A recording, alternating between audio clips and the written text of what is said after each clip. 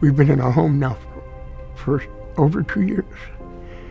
August 21st of uh, 2020, we were housed. Family Promise is awesome. You know how hard it was for me and Shai to get into a place? We tried everywhere churches, uh, you name it. Nobody accommodated a man and a female child. They provided everything a person could need. I mean, including love.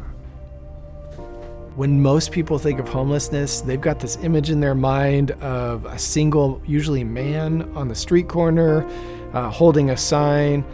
They don't think of families, they don't think of children, but families represent 36% of the homeless that we have here in Spokane.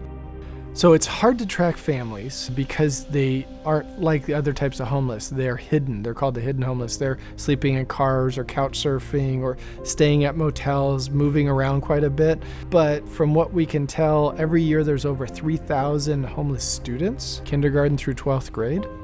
Our goal here is to end family homelessness. And so we exclusively work with families that are caring for minor children that are about to experience homelessness, are experiencing homelessness, or who have just left homelessness. Homelessness is that one interlinking section with healthcare issues, with mental health, with substance abuse, with education, transportation, employment. Housing is a critical feature to all of those other areas. And when you don't have housing, all of those other areas get worse.